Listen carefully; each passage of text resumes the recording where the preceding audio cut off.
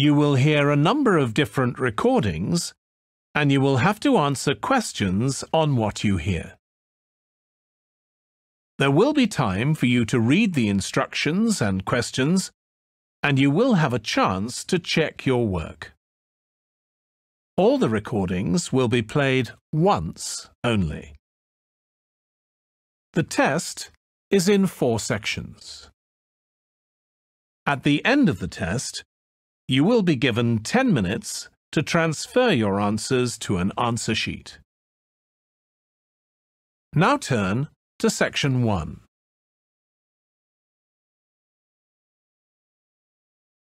Section 1 You will hear a man inquiring in a tourist centre about activities suitable for families. First, you have some time to look at questions 1 to 4.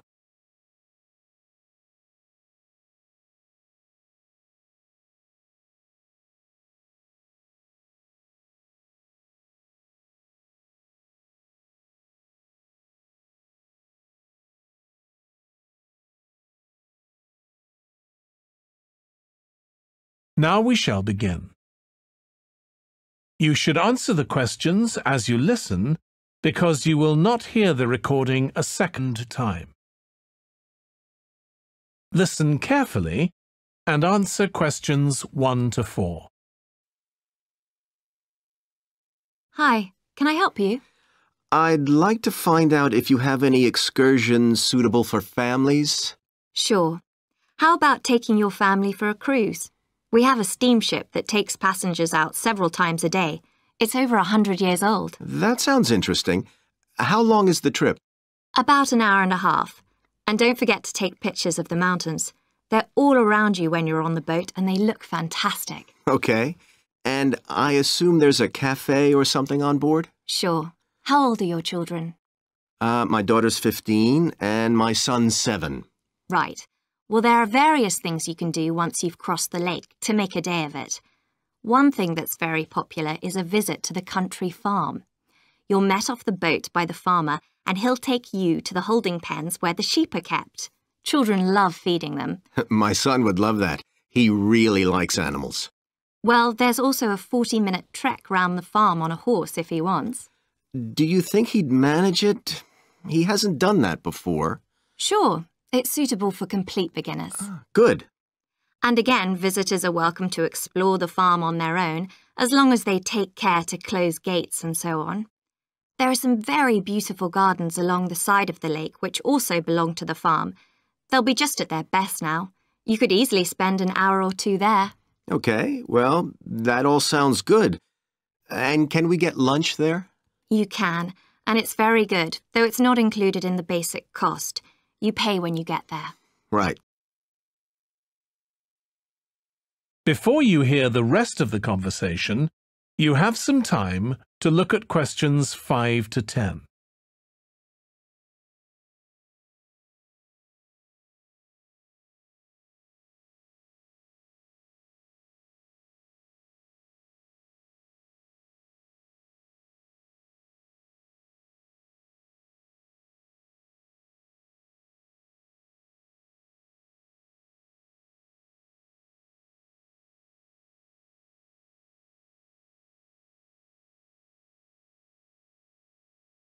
Now listen and answer questions 5 to 10. So, is there anything else to do over on that side of the lake? Well, what you can do is take a bike over on the ship and then go on a cycling trip. There's a trail there called the Back Road. You could easily spend three or four hours exploring it, and the scenery's wonderful. They'll give you a map when you get your ticket for the cruise. There's no extra charge. What's the trail like in terms of difficulty? Quite challenging in places. It wouldn't be suitable for your seven-year-old. It needs someone who's got a bit more experience. Hmm. Well, my daughter loves cycling, and so do I, so maybe the two of us could go, and my wife and son could stay on the farm. That might work out quite well. But we don't have bikes here. Is there somewhere we could rent them? Yes, there's a place here in the city. It's called Ratcheson's. I'll just make a note of that. Uh, how do you spell it? R A T C H E S O N S. It's just by the cruise ship terminal. Okay. You'd also need to pick up a repair kit for the bike from there to take along with you, and you'd need to take along a snack and some water. It'd be best to get those in the city. Fine. That shouldn't be a problem. And I assume I can rent a helmet from the bike place. Sure, you should definitely get that. It's a great ride, but you want to be well prepared because it's very remote. You won't see any shops round there or anywhere to stay, so you need to get back in time for the last boat. Yeah. So, what sort of prices are we looking at here? Let's see. That'd be one adult and one child for the cruise with farm tour. That's $117, and an adult and a child for the cruise only, so that's $214 altogether. Oh, wait a minute. How old did you say your daughter was? Fifteen. Then I'm afraid it's $267 because she has to pay the adult fare, which is $75, instead of the child fare, which is $22. Sorry about that. That's okay. Uh, so, how do we find out? That is the end of section one. You now have half a minute to check your answers.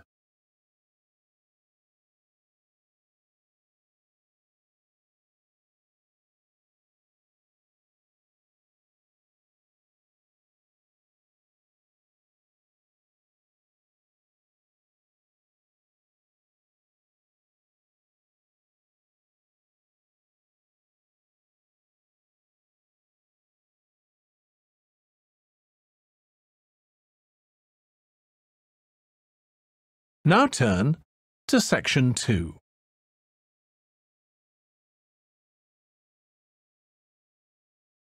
Section 2 You will hear a restaurant manager talking to a small group of new staff who are starting work as kitchen assistants in a restaurant. First, you have some time to look at questions 11 to 16.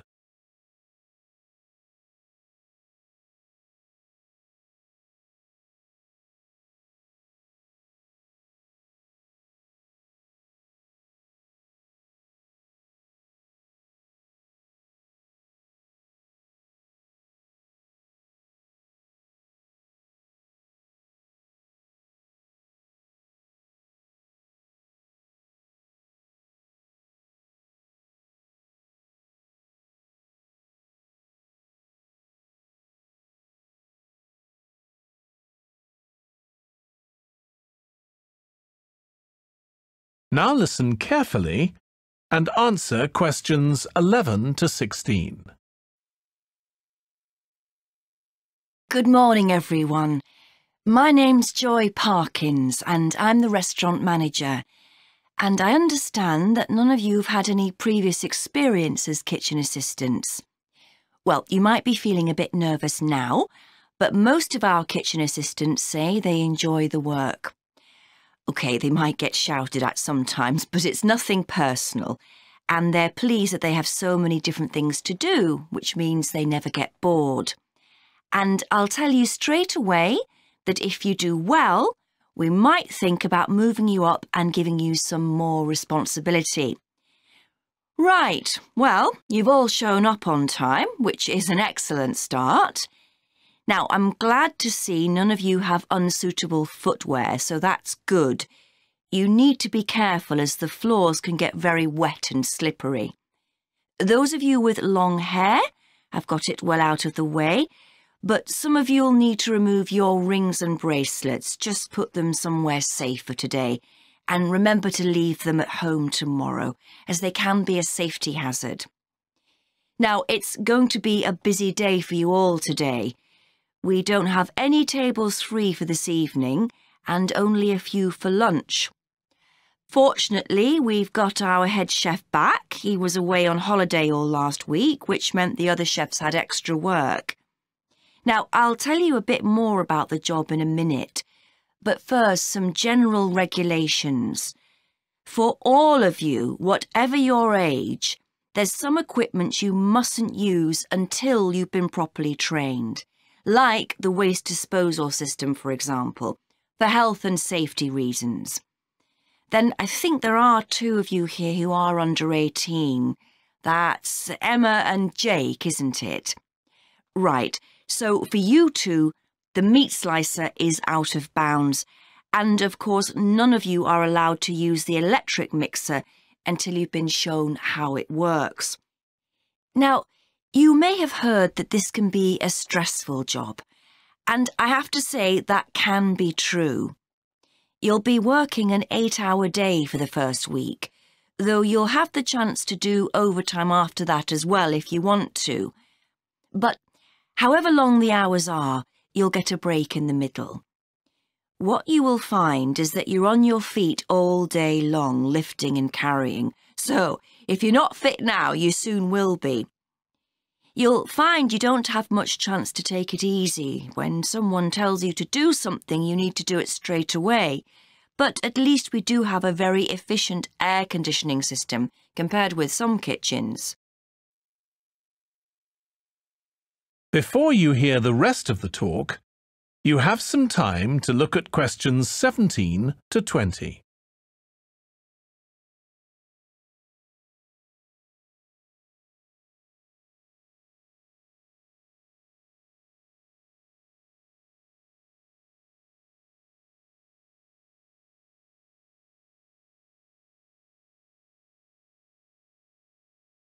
Now listen and answer questions 17 to 20. Now, let me tell you about some of the people you need to know.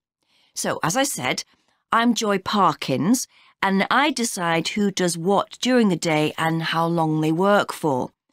I'll be trying to get you to work with as many different people in the kitchen as possible, so that you learn while you're on the job.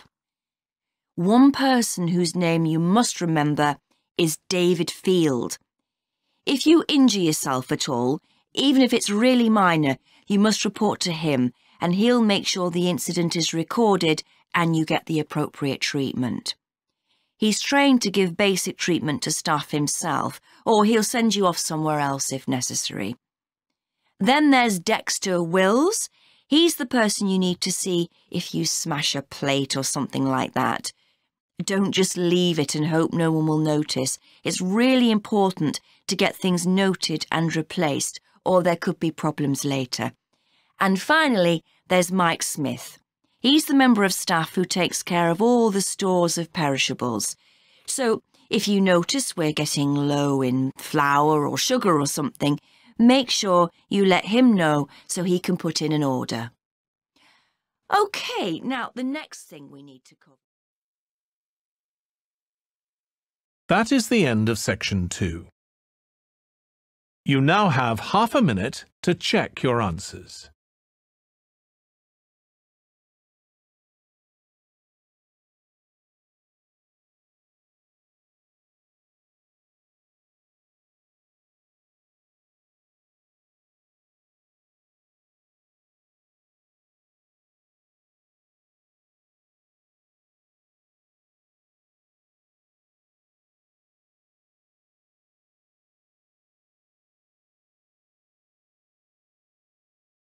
Now turn to section 3.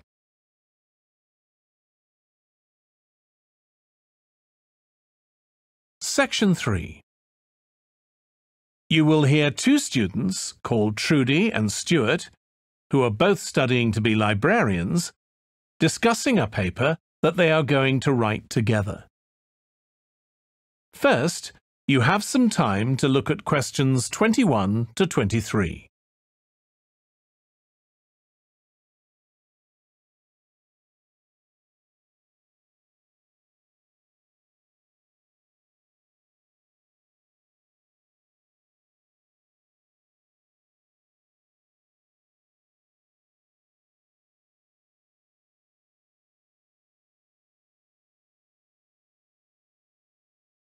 Now listen carefully and answer questions 21 to 23.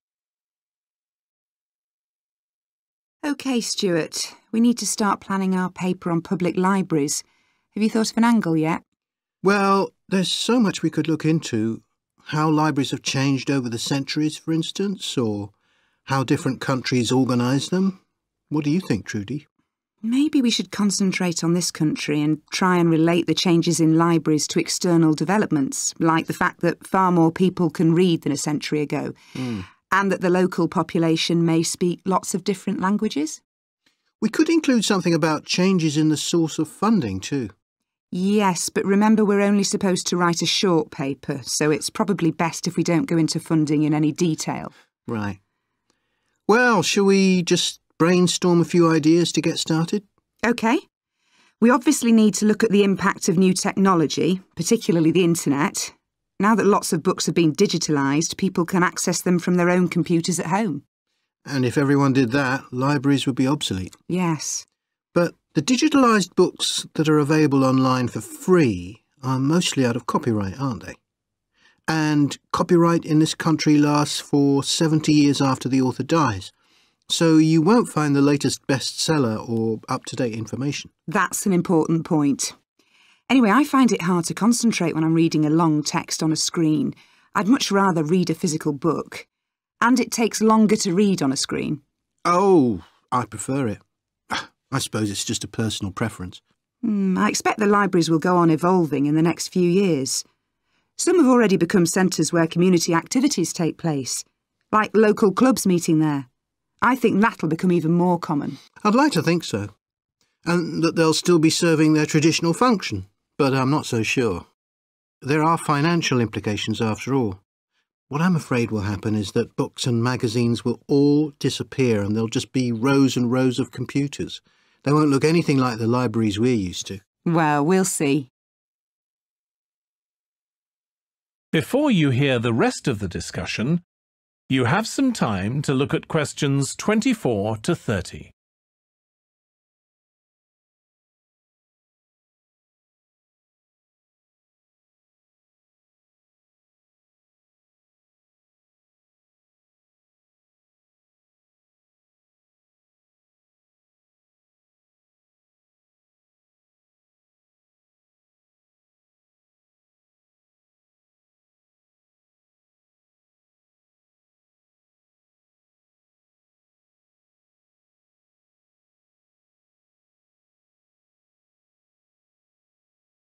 Now listen and answer questions 24 to 30.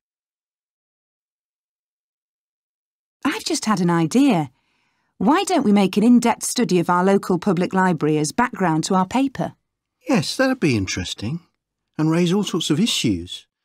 Let's make a list of possible things we could ask about, then work out some sort of structure. For instance, um, we could interview some of the staff and find out whether the library has its own budget or if that's controlled by the local council. And what their policies are. I know they don't allow food, but I'd love to find out what types of noise they ban. There always seems to be a lot of talking, but never music. Mm. I don't know if that's a policy or it just happens. Ah, I've often wondered. Then there are things like how the library is affected by employment laws. I suppose there are rules about working hours, facilities for staff and so on. Right.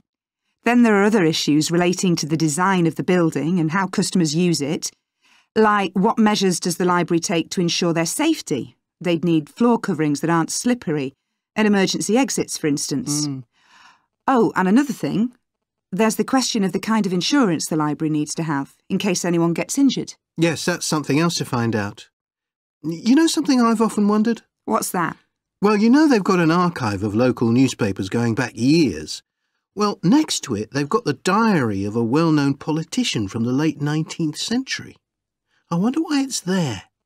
Do you know what his connection was with this area? No idea. Let's add it to our list of things to find out.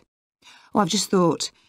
You know, people might ask in the library about local organisations like sports clubs. Hmm. Well, I wonder if they keep a database or whether they just look online. Right. I quite fancy finding out what the differences are between a library that's open to the public and one that's part of a museum, for example. They must be very different. Hmm. Then something else I'd like to know is That is the end of section 3. You now have half a minute to check your answers.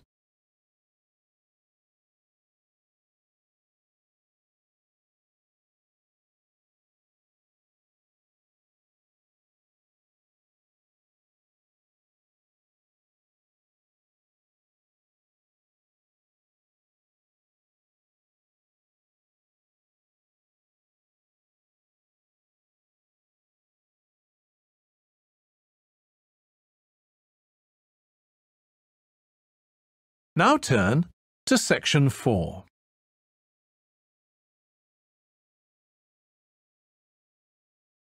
Section 4 You will hear part of a lecture for business students about business values.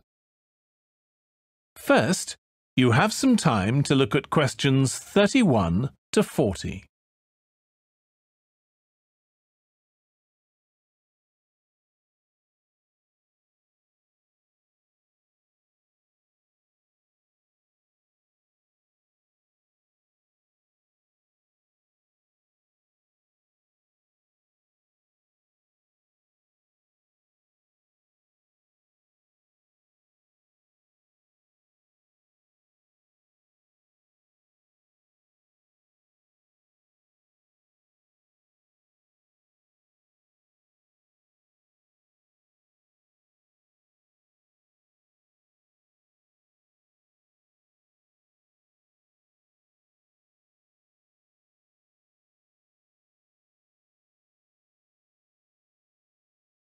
Now listen carefully and answer questions 31 to 40.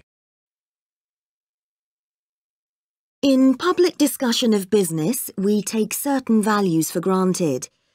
Today, I'm going to talk about four of them. Collaboration, hard work, creativity and excellence. Uh, most people would say they're all good things. I'm going to suggest that's an oversimple view. The trouble with these values is that they're theoretical concepts, removed from the reality of day-to-day -day business. Uh, pursue values by all means, but be prepared for what may happen as a result. They can actually cause damage, which is not at all the intention. Business leaders generally try to do the right thing, but all too often the right thing backfires, if those leaders adopt values without understanding and managing the side effects that arise. The values can easily get in the way of what's actually intended. OK, so the first value I'm going to discuss is collaboration. Uh, let me give you an example. On a management training course I once attended, we were put into groups and had to construct a bridge across a stream using building blocks that we were given. The rule was that everyone in the team had to move at least one building block during the construction. This was intended to encourage teamwork. But it was really a job best done by one person. The other teams tried to collaborate on building the structure and descended into confusion, with everyone getting in each other's way. Our team leader solved the challenge brilliantly she simply asked everyone in the team to move a piece a few centimetres to comply with the rule, and then let the person in the team with an aptitude for puzzles like this build it alone. We finished before any other team. My point is that the task wasn't really suited to team working, so why make it one? Teamwork can also lead to inconsistency, a common cause of poor sales. In the case of a smartphone that a certain company launched, one director wanted to target the business market, and another demanded it was aimed at consumers. The company wanted both directors to be involved, so gave the product a consumer-friendly name, but marketed it to companies. The result was that it met the needs of neither group. It would have been better to let one director or the other have his way Eh, not both.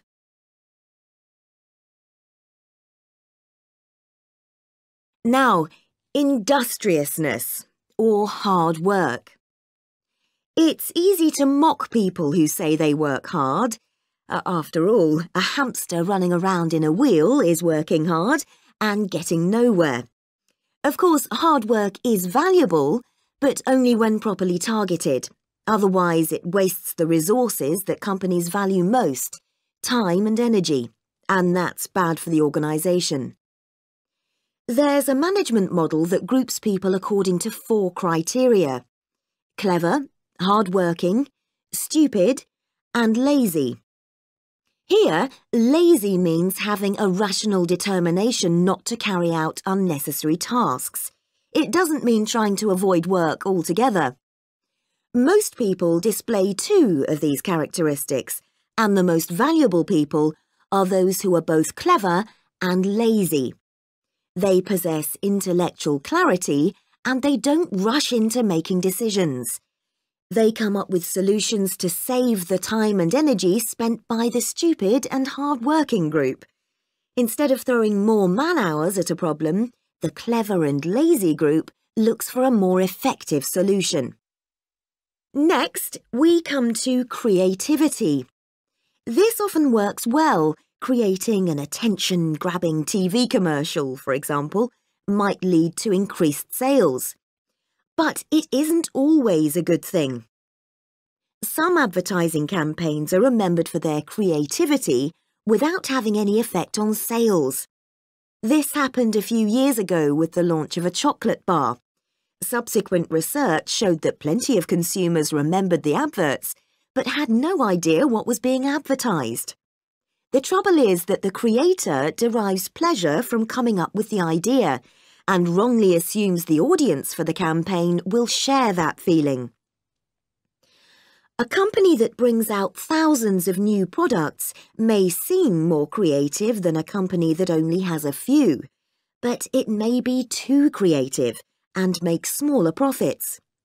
Creativity needs to be targeted to solve a problem that the company has identified. Just coming up with more and more novel products isn't necessarily a good thing. And finally, excellence.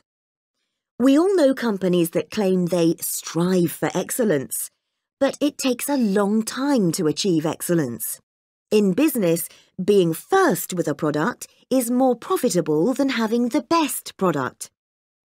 A major study of company performance compared pioneers that is, companies bringing out the first version of a particular product, with followers, the companies that copied and improved on that product. The study found that the pioneers commanded an average market share of 29%, while the followers achieved less than half that, only 13%, even though their product might have been better. Insisting on excellence in everything we do is time-consuming, wastes energy, and leads to losing out on opportunities. Sometimes second-rate work is more worthwhile than excellence. Make sure it's excellent sounds like a good approach to business, but the just get started approach is likely to be more successful. That is the end of section 4. You now have half a minute to check your answers.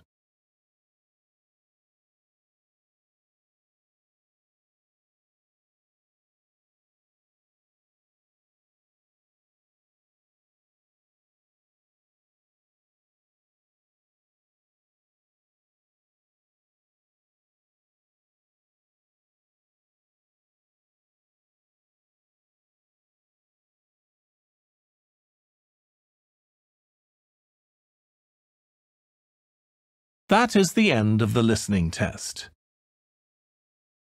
In the IELTS test, you would now have 10 minutes to transfer your answers to the answer sheet.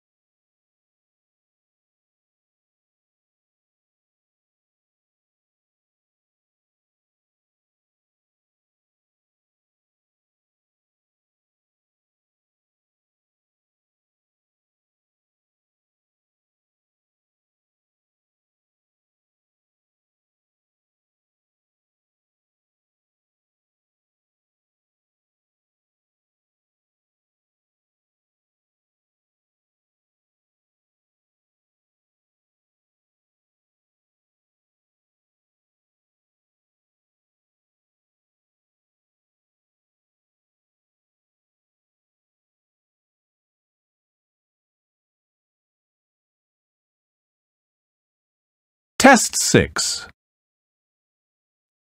You will hear a number of different recordings and you will have to answer questions on what you hear. There will be time for you to read the instructions and questions and you will have a chance to check your work. All the recordings will be played once only. The test is in four sections. At the end of the test, you will be given 10 minutes to transfer your answers to an answer sheet. Now turn to section 1.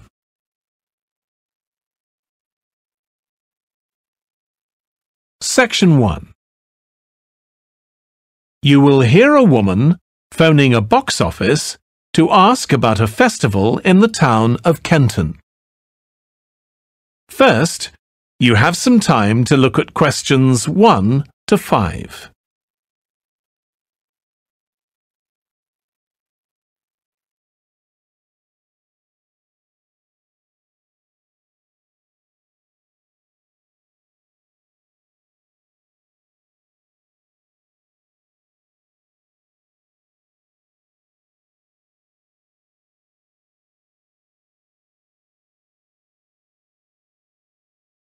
Now we shall begin. You should answer the questions as you listen because you will not hear the recording a second time.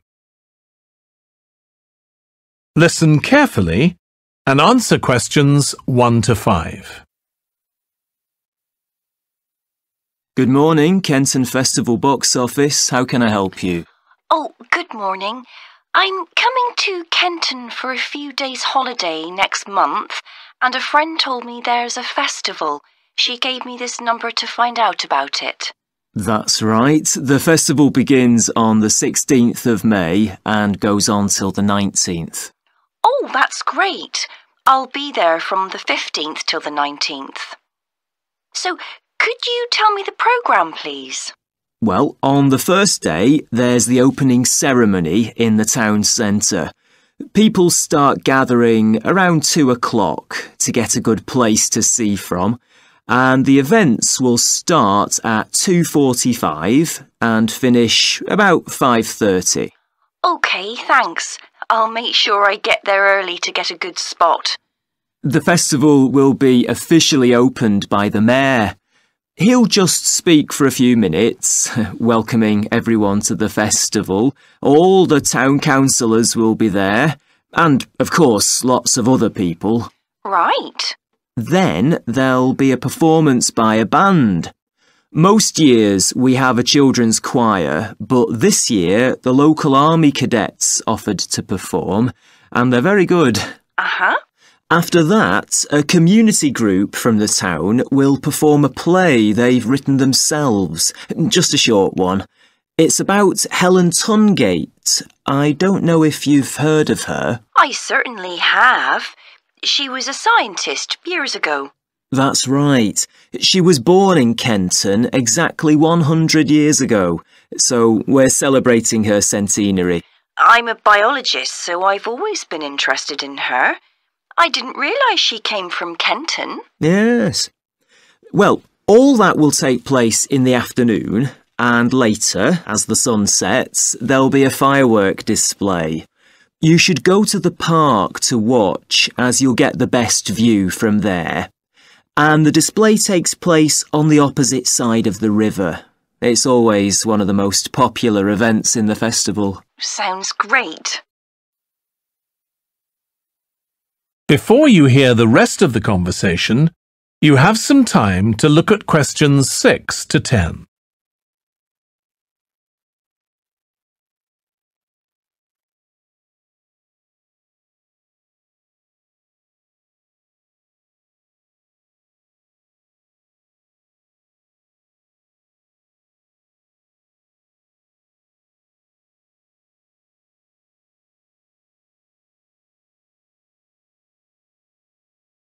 Now listen and answer questions 6 to 10.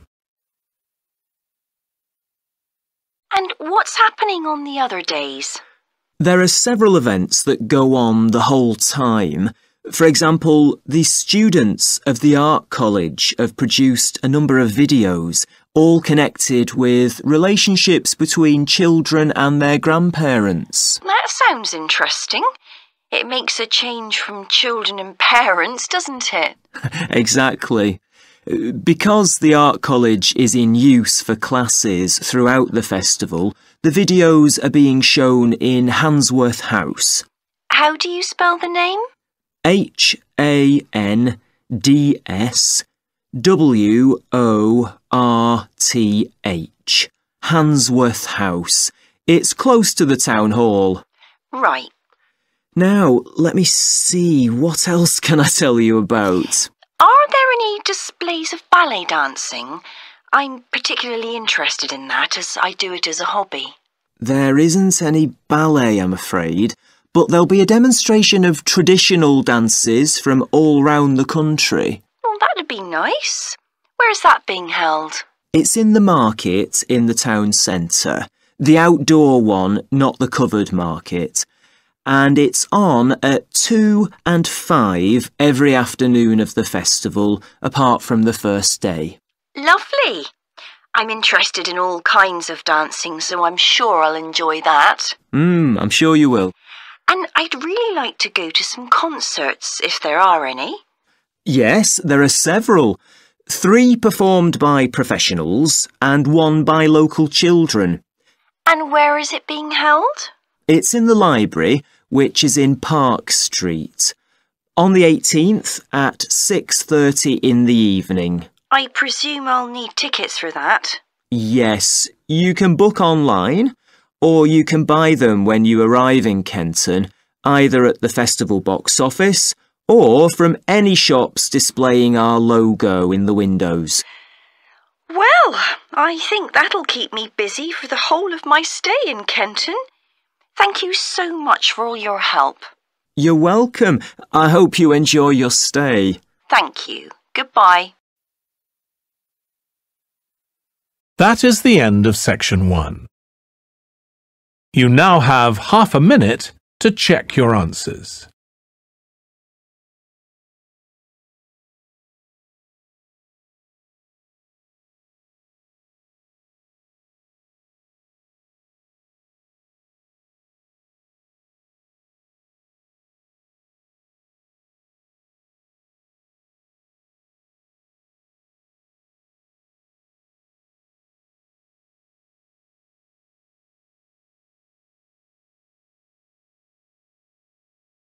Now turn to section 2.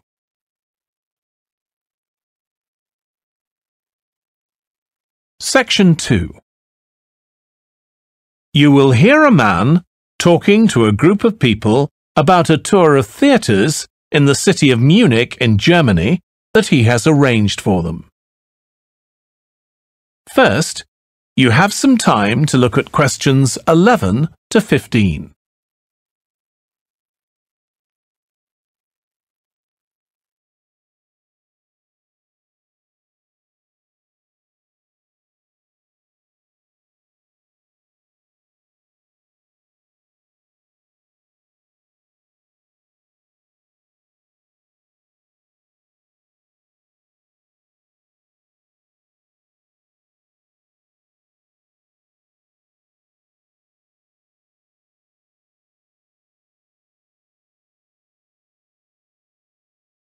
Now listen carefully and answer questions 11 to 15. Right. I've now almost succeeded in finalising plans for our tour, so I'll bring you up to date with what I know. As you know, we're flying first to Munich on Monday the 4th. The flight is at 11.30 so it's too early to have lunch at the airport. I suggest we meet there for coffee at 10, which should give us plenty of time for breakfast before we leave home. When we arrive in Munich, we'll be met at the airport by Klaus Bauer. Klaus works for a tour operator, and he'll look after us for the time we'll be in Germany.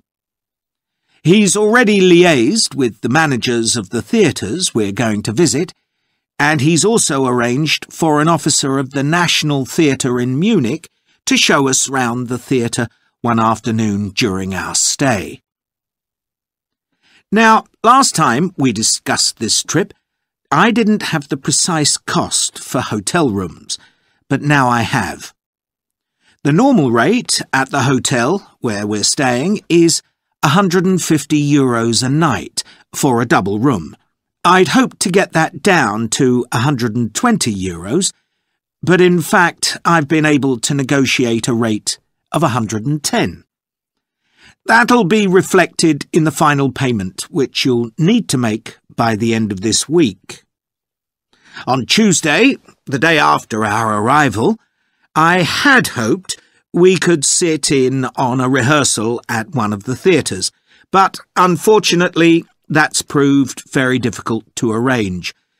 So instead, we'll have a coach trip to one of the amazing castles in the mountains south of Munich.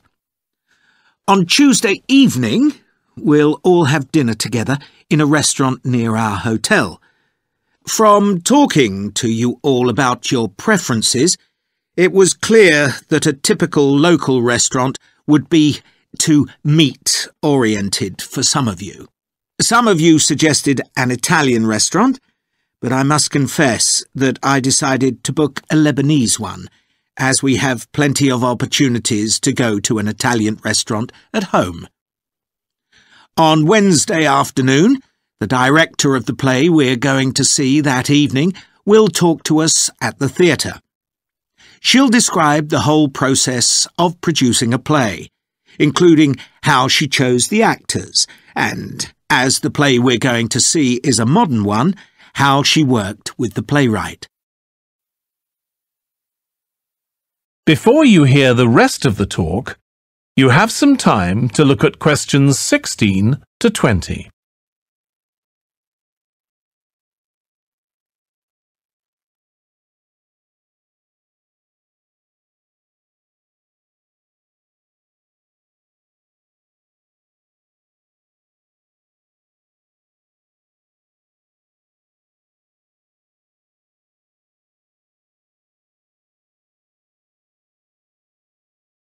Now listen and answer questions 16 to 20. Right. Now I'd just like to make a few points about the plays we're going to see. Partly because it might influence your choice of clothes to take with you. The play we're seeing on Wednesday evening is a modern one, and we're going to the premiere. So it'll be quite a dressy occasion though of course you don't have to dress formally. I gather it's rather a multimedia production, with amazing lighting effects and a soundtrack of electronic music, though unfortunately the playwright is ill and is unlikely to be able to attend. On Thursday, we're seeing a play that was first performed last year when it was commissioned to mark a hundred years since the birth in the town of a well-known scientist. We're going to see a revival of that production, which aroused a lot of interest. Friday's play will really make you think hard about what clothes to pack, as it'll be in the garden of a palace. It's a beautiful setting, but I'd better warn you, there won't be much protection from the wind. On Saturday, we're going by coach to a theatre in another town, not far from Munich. This will be the opening of a drama festival, and the mayor and all the other dignitaries of the town will be attending. After the performance, the mayor is hosting a reception for all the audience, and there'll be a band playing traditional music of the region. And after having a day off on Sunday, our final play is on Monday, and it's in the stunning setting of the Old Town Hall, which dates back to the 14th century. The performance marks the 50 years that the lead actor has been on stage, and the play is the one where he made his first professional appearance all those years ago. And the day after that, we'll be flying back home. Now, have you got any questions before I move? That is the end of section two. You now have half a minute to check your answers.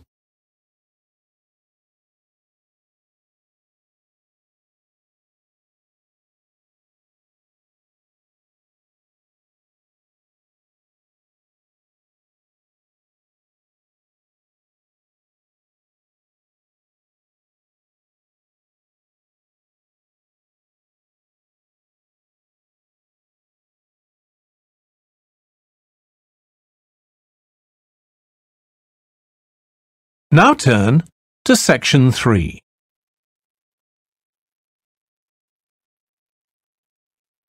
Section 3 You will hear James, who is in the Scandinavian Studies Department at his university, talking to his tutor, Beth. First, you have some time to look at questions 21 to 25.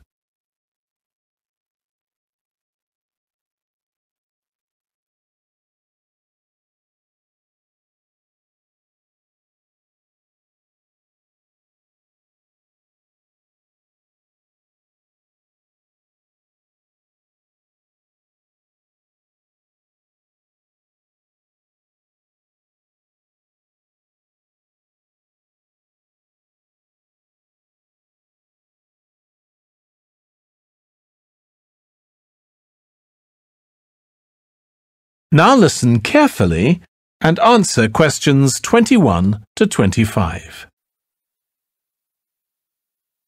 Oh, good morning. Uh, you must be James. I'm Beth Cartwright. Please call me Beth. Thank you.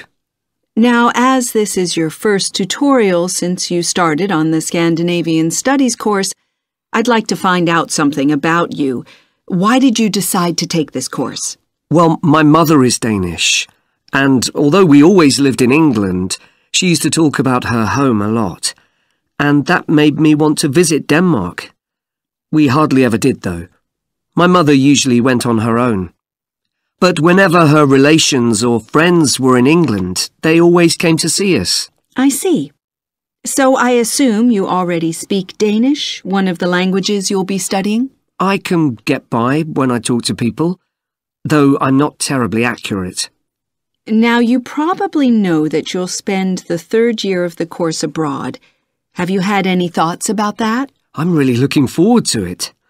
And although Denmark seems the obvious place to go because of my family connections, I'd love to spend the time in Iceland. Oh, I'm sure it can be arranged. Do you have any plans for when you graduate? A lot of students go on to take a master's degree. I think the four years of the undergraduate course will be enough for me.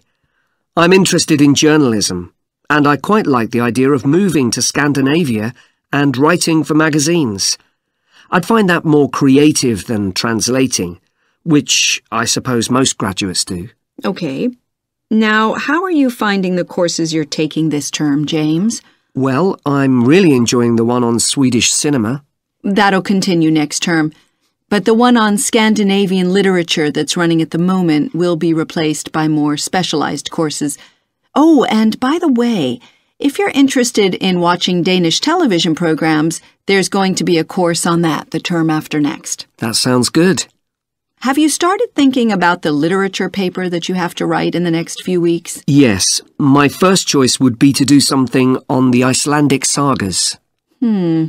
The trouble with that is that a lot of people choose that topic, and it can be difficult to get hold of the books you'll need. Why not leave that for another time? Right. You might find modern novels or 19th century playwrights interesting. I've read or seen several plays in translation, so that would be a good idea. Fine. I'll put you down for that topic. Right. So what would you advise me to aim at in the paper? First, I suggest you avoid taking one writer and going into a great deal of detail. That approach certainly has its place, but I think you first need to get an understanding of the literature in the context of the society in which it was produced, who it was written for, how it was published, and so on. I also think that's more fruitful than placing it within the history of the genre. OK, that sounds reasonable. Before you hear the rest of the discussion, you have some time to look at questions 26 to 30.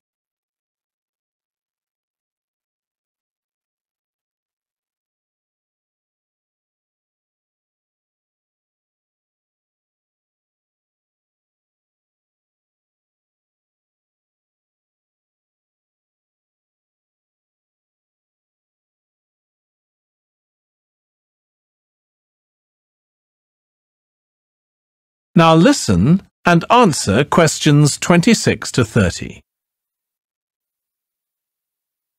Could I ask for some advice about writing the paper I'm working on about the Vikings? I have to do that this week, and I'm a bit stuck. Of course. Have you decided yet what to write about? No, I haven't. There's so much that seems interesting. Viking settlement in other countries, trade, mythology. Well, what I suggest is that you read an assignment a student wrote last year, which is kept in the library. It's short and well focused, and I'm sure you'll find it helpful. I'll give you the details in a moment. Textbooks usually cover so many topics, it can be very difficult to choose just one. OK. I've got a DVD of the film about the Vikings that came out earlier this year. Should I watch that again? If it's the one I am thinking of, mm, I'd ignore it. It's more fantasy than reality. But I've got a recording of a documentary that you should watch. It makes some interesting and provocative points, which I think will help you to focus your topic. Right. So then, should I work out an outline? Yes, just headings for different sections at this stage. And then you should start looking for suitable articles and books to draw on and take notes which you organize according to those headings. I see. Then put short phrases and sentences as bullet points under each heading. Make sure that this skeleton makes sense and flows properly before writing up the paper in full. OK. Thanks. That's very helpful. That is the end of section 3. You now have half a minute to check your answers.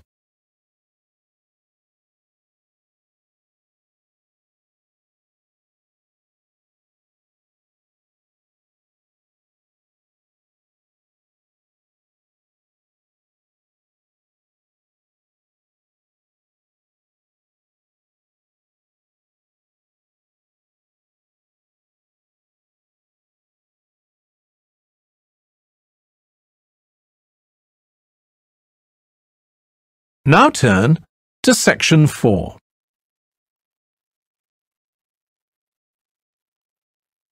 Section 4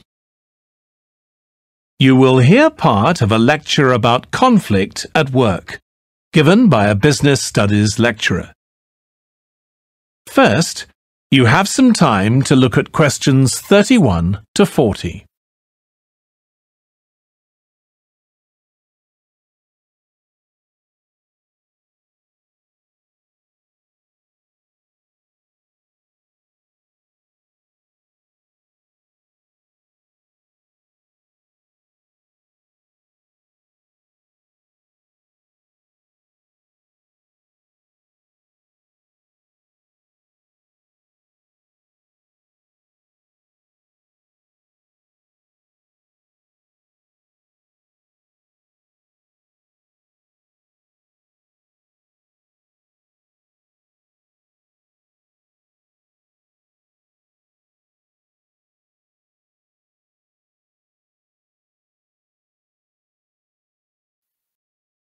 Now listen carefully and answer questions 31 to 40. Over the years, attitudes towards workers have changed considerably. After all, there was a time when workers had no rights at all and laboured in appalling conditions. Conditions have improved a lot, but conflict in the workplace is still common and human resources managers nowadays need to be able to deal with it when necessary. What is conflict in the workplace? Definitions vary, but I'm taking it to refer to a whole range of behaviours that the victim finds unacceptable, from minor, harmless arguments to, at the opposite extreme, physical violence.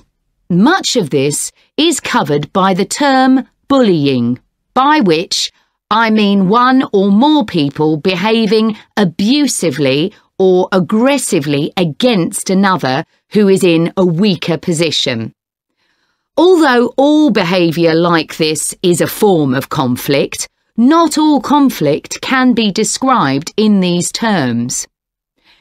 As with all human behaviour, there are numerous reasons for it, but often it's caused by someone who feels the need to show their superiority over someone else in order to feel that they aren't at the lowest level in a hierarchy or a group of people. In some cases, one person simply dislikes the other on the basis that the personality of one is in some way incompatible with that of the other person. A general habit of optimism in one person could make them intolerant of a colleague who's constantly pessimistic. Not that that justifies treating them badly, of course. Some conflicts arise when people are more interested in promoting themselves and their team than in the company as a whole. These conflicts are called structural and could come about, for example, when a sales team believe they are the only people in the business who do any useful work and look down on behind the scenes administrators.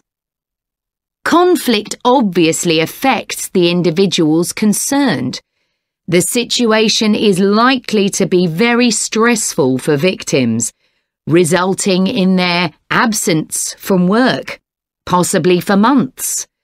For the company, if no effort is made to deal with conflict, it can spiral out of control and even lead to the breakdown of the business.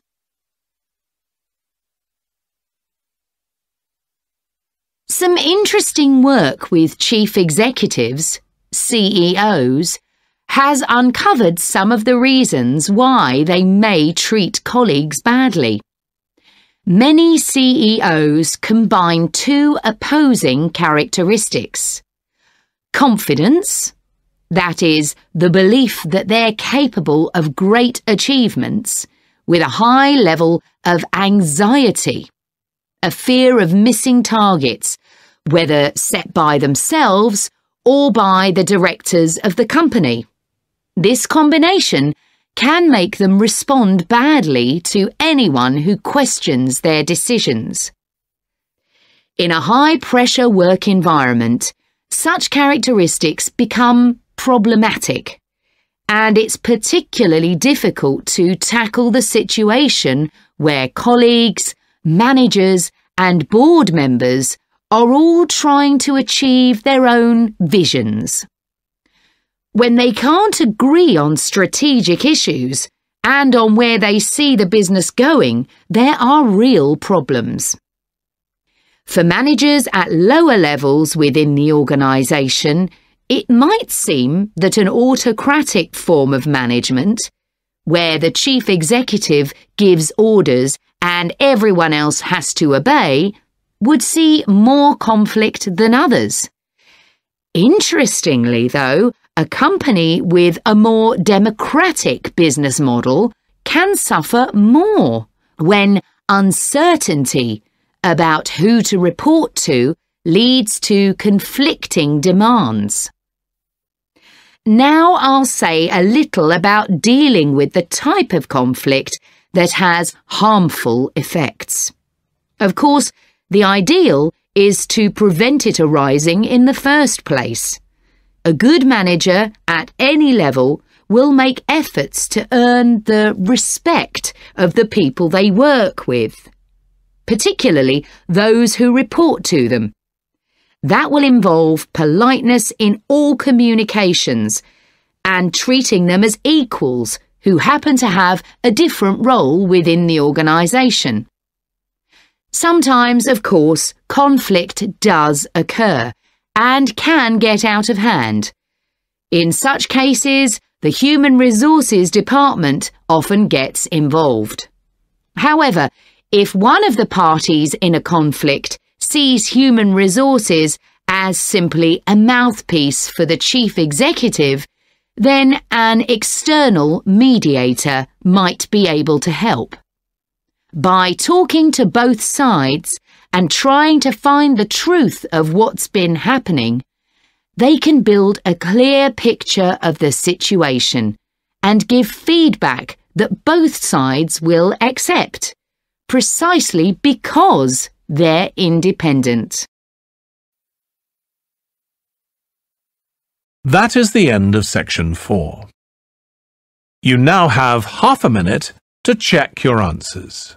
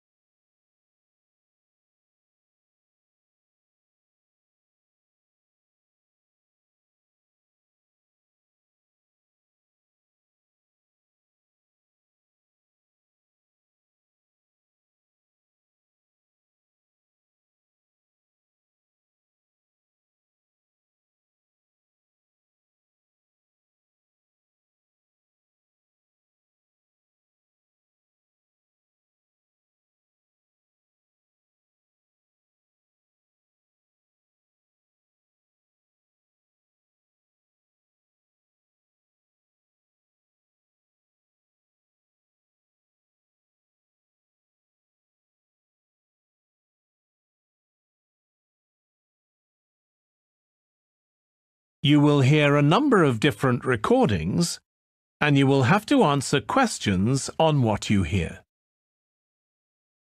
There will be time for you to read the instructions and questions and you will have a chance to check your work. All the recordings will be played once only. The test is in four sections. At the end of the test, you will be given 10 minutes to transfer your answers to an answer sheet. Now turn to section 1.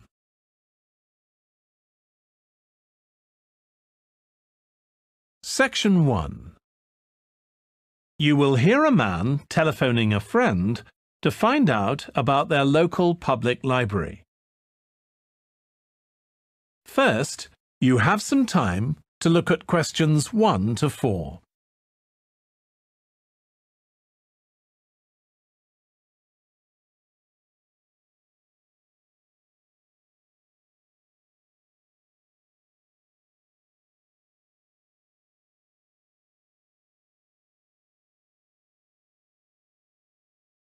Now we shall begin.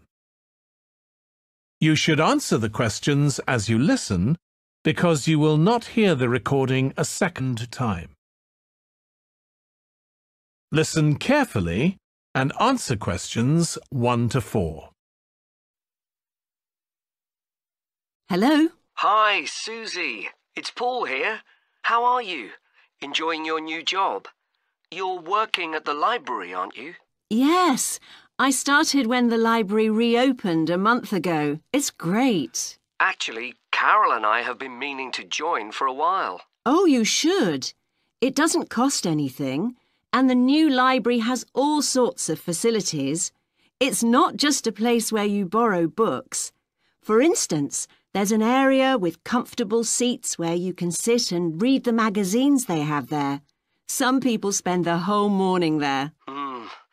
Wish I had that amount of time to spend. yes, you must be pretty busy at present, with the children and everything. We are, yes. But we're hoping to get away this summer. We're thinking of going to Greece. Well, we've got a much larger section of the library devoted to travel books now, so you should come and have a look. I can't remember if there's anything specifically on Greece, but I should think so. OK. Now, Carol's organising a project for the history class she teaches at school. It's about life in the town a hundred years ago. Do you have anything that might be useful? Yes. Actually, we've now got a new section with materials on the history of the town and surrounding region. Right. I'll tell her. You can't always find that sort of thing on the internet. Now, in the old library, there used to be a separate room with reference books. It was a really nice, quiet room. Yes, we've put those books in the main part of the library now, but we do have a room called the community room. It can be hired out for meetings, but at other times, people can use it to study. I might use that. It's hard to find anywhere quiet at home sometimes. I can't remember how old your son and daughter are. We've introduced a special section of fiction written specially for teenagers, but they might be a bit young for that. Yes, they would be. Before you hear the rest of the conversation, you have some time to look at questions 5 to 10.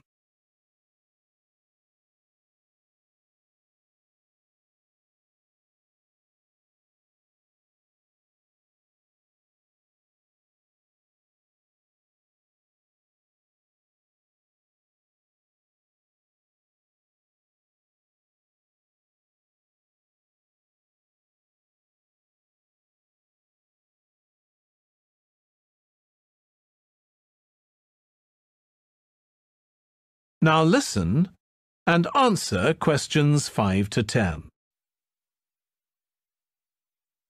Well, we do have lots of activities for younger children. Yes? For example, we have a science club. At the next meeting, they're going to be doing experiments with stuff that everyone has in the kitchen sugar and flour and so on. They might be interested, yes. And we have a competition for children called Reading Challenge.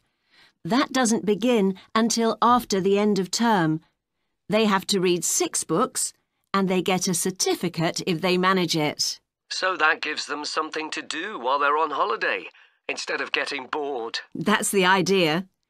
And there's special activities for adults too. On Friday, we have a local author called Tanya Streep who's going to be talking about her new novel.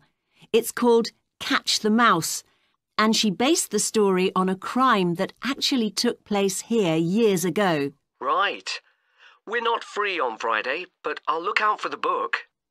Now, this probably isn't for you, but we do have IT support available for members. We get quite a few older people coming along who are wanting to get up to speed with computer technology. It's on Tuesday mornings. They don't need to make an appointment or anything. They just turn up. Well, my mother might be interested.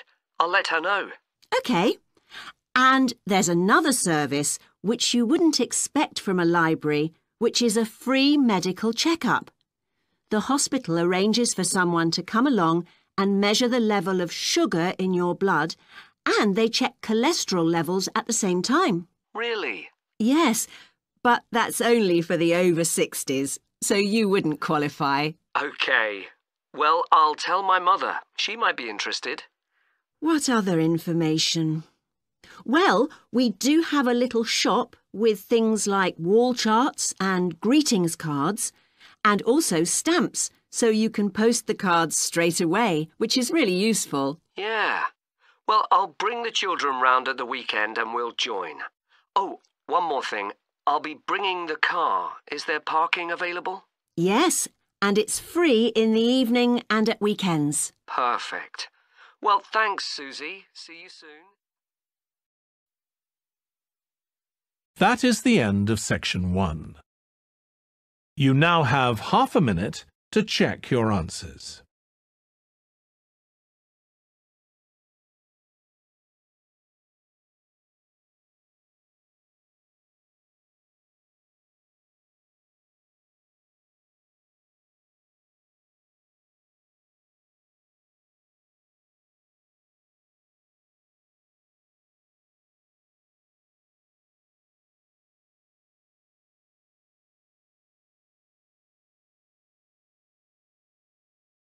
Now turn to section 2.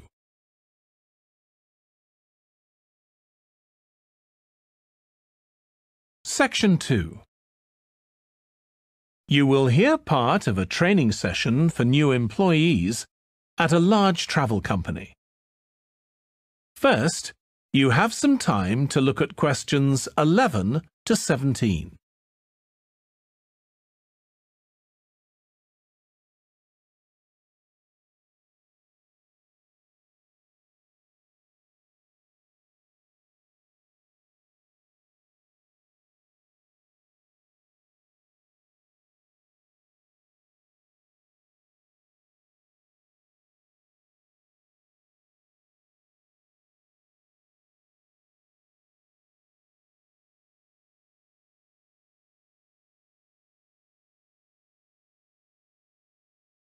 Now listen carefully and answer questions 11 to 17.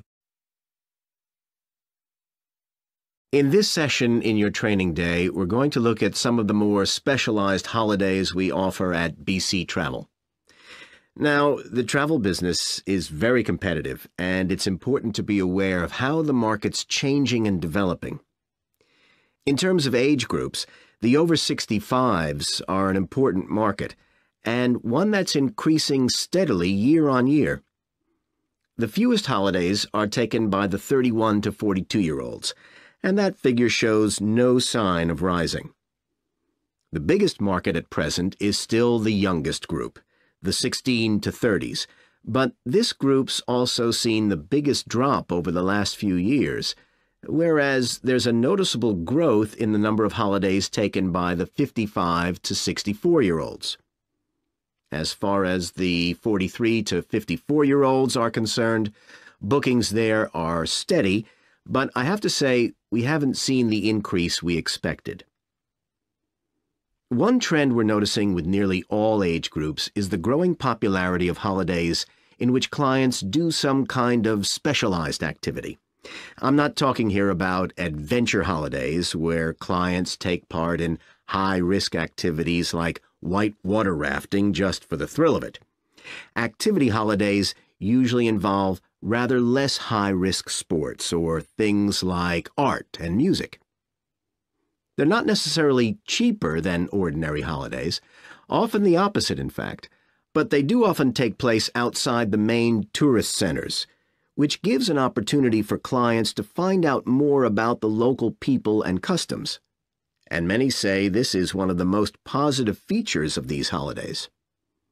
Of course, they offer the chance to develop a new skill or talent, but clients often say that more than this, it's the chance to create lasting relationships with other like-minded people. That's the main draw. Let me give you some examples of BC travel activity holidays. Our painting holidays take place in four different centers in France and Italy, and they're very popular with clients of all abilities from beginners onwards. We've got an excellent team of artists to lead the classes. Some of them have been with us from the start, and five additional ones will be joining us this year so that we can offer a greater number of classes in each center. As far as cooking holidays are concerned, I know a lot of agents offer holidays where clients cook recipes related to one particular country, usually the one they're staying in, but we focus on dishes from a great many different ones. Apart from that, you'll find the usual emphasis on good quality organic ingredients. That's more or less a given nowadays. And there are generally some meat-free recipes included. Our photography holidays take place in a wide range of countries from Iceland to Vietnam, and clients have the opportunity to see some stunning scenery. Groups are small, no more than eight, so clients can have one-on-one -on -one tuition during the holiday, and excursions are arranged with fully trained guides. At the end of each holiday, an exhibition is held of the photographs taken, so that clients can see one another's work and receive valuable feedback from the tutor. Before you hear the rest of the training session, you have some time to look at questions 18 to 20.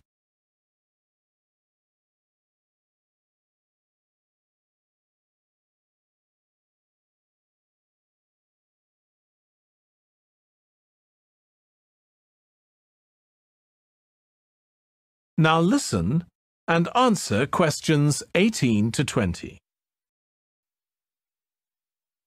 Finally, let me tell you about our fitness holidays. In Ireland and Italy, we run one-week general fitness classes for all ages and levels of fitness. Clients start the course with a consultation with a trainer, and together they draw up an individual program. As well as improving general fitness, clients find that they end up losing much of the stress they've built up in their daily lives. In Greece, we have a two-week holiday for clients who want to do something about their weight. This has all the features you'd expect, like a personalized diet program, but one of its most popular features is that the exercise classes are all held on the beach. People say it's far preferable to being in a gym. Finally, we offer several holidays in Morocco. One very popular one is the mountain biking holiday. Bikes are provided, and there are different routes according to people's ability. We offer one which is tailored to the needs of families, which is particularly popular. Okay, so that's about all the time I have today, so thank you very much. That is the end of section two. You now have half a minute to check your answers.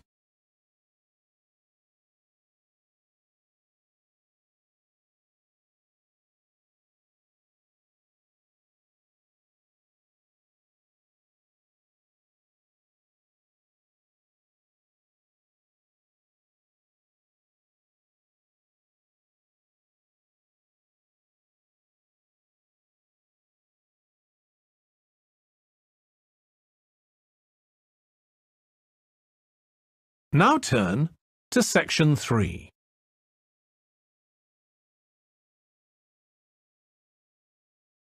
Section 3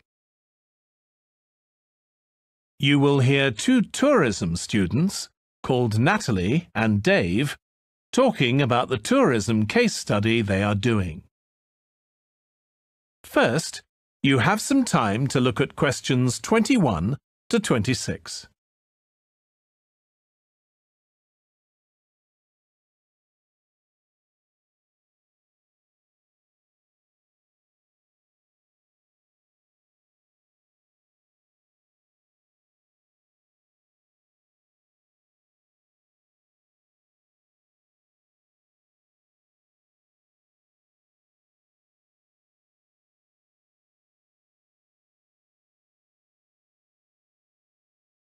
Now listen carefully and answer questions 21 to 26.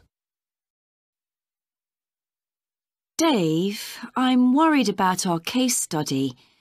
I've done a bit of reading, but I'm not sure what's involved in actually writing a case study. I missed the lecture where Dr Baker talked us through it. OK, well, it's quite straightforward. We've got our focus, that's tourism at the Horton Castle site. And you said you'd done some reading about it? Yes, I found some articles and made notes of the main points. Did you remember to keep a record of where you got the information from? Sure, I know what a pain it is when you forget that. OK, so we can compare what we've read. Then we have to decide on a particular problem or need at our site. And then think about who we're going to interview to get more information. OK, so who'd that be? The people who work there? And presumably some of the tourists too? Yes, both those groups. So we'll have to go to the site to do that, I suppose. But we might also do some of our interviewing away from the site. We could even contact some people here in the city, like administrators involved in overseeing tourism. OK, so we'll need to think about our interview questions and fix times and places for the meetings. It's all going to take a lot of time. Mm. And if we can, we should ask our interviewees if they can bring along some numerical data that we can add to support our findings. And photographs? I think we have plenty of those already. But Dr. Baker also said we have to establish with our interviewees whether we can identify them in our case study or whether they want to be anonymous. Oh, I wouldn't have thought of that. OK, once we've got all this information, I suppose we have to analyse it. Yes, put it all together and choose what's relevant to the problem we're focusing on and analyse that carefully to find out if we can identify any trends or regularities there. That's the main thing at this stage, rather than concentrating on details or lots of facts. OK, and then once we've analysed that, what next? Well, then we need to think about what we do with the data we've selected to make it as clear as possible to our readers. Things like graphs or tables or charts. Right. Then the case study itself is mostly quite standard. We begin by presenting the problem and giving some background, then go through the main sections. But the thing that surprised me is that in a normal report, we'd end with some suggestions to deal with the problem or need we identified. But in a case study, we end up with a question or a series of questions to our readers, and they decide what ought to be done. Oh, I hadn't realised that. Before you hear the rest of the discussion, you have some time to look at questions 27 to 30.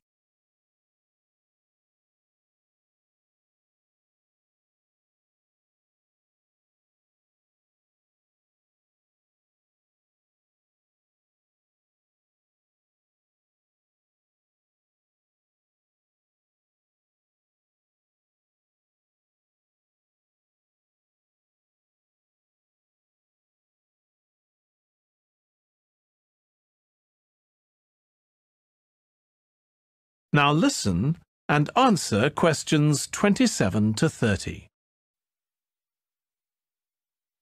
So, basically, the problem we're addressing in our case study of the Horton Castle site is why so few tourists are visiting it. And we'll find out more from our interviews, but I did find one report on the internet that suggested that one reason might be because, as far as transport goes, access is difficult. I read that too, but that report was actually written 10 years ago when the road there was really bad, but that's been improved now. And I think there's plenty of fascinating stuff there for a really good day out, but you'd never realise it from the castle website. Maybe that's the problem. Yes, it's really dry and boring. I read somewhere a suggestion that what the castle needs is a visitor centre. So we could have a look for some information about that on the internet. What would we need to know? Well, who'd use it for a start? It'd be good to know what categories the visitors fell into too, like school parties or retired people. But I think we'd have to talk to staff to get that information. OK, And as we're thinking of suggesting a visitor centre, we'd also have to look at potential problems. I mean, obviously, it wouldn't be cheap to set up. No, but it could be a really good investment. And as it's on a historical site, it'd need to get special planning permission, I expect. That might be hard. Right. Especially as the only possible place for it would be at the entrance, and that's right in front of the castle. Hmm. But it could be a good thing for the town of Horton. At present, it's a bit of a ghost town. Once they've left school and got any skills or qualifications, the young people all get out as fast as they can to get jobs in the city, and the only people left are children and those who've retired. Right. Something else we could investigate would be the potential damage that tourists might cause to the castle site. I mean, their environmental impact. At present, the tourists can just wander around wherever they want. But if numbers increase, there might have to be some restrictions, like sticking to marked ways. And there'd need to be guides and wardens around to make sure these are enforced. Yes, we could look at that too. OK, well, we've certainly managed... That is the end of section three. You now have half a minute to check your answers.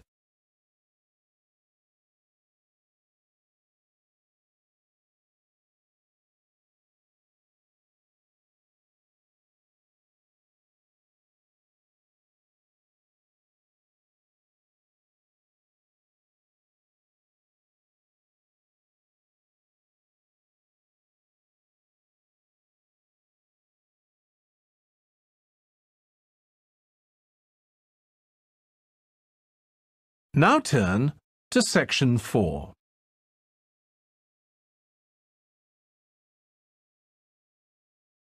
Section 4. You will hear a lecturer on an environmental studies course discussing how birds are affected by environmental change. First, you have some time to look at questions 31 to 40.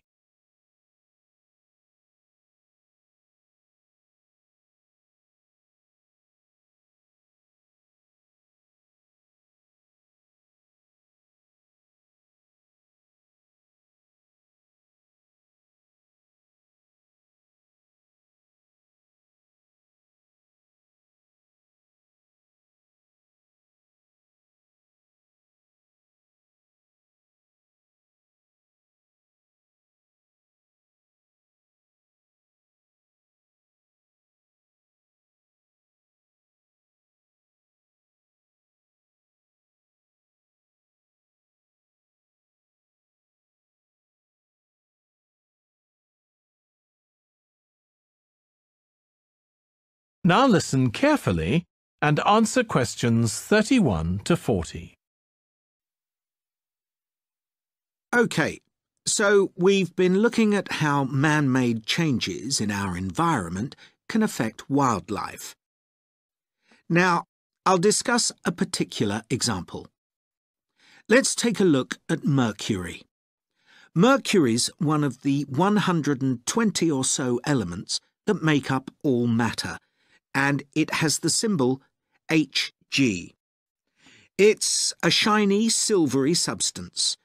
You may have seen it in old-fashioned thermometers, but it's not used much for domestic purposes now because it's highly toxic.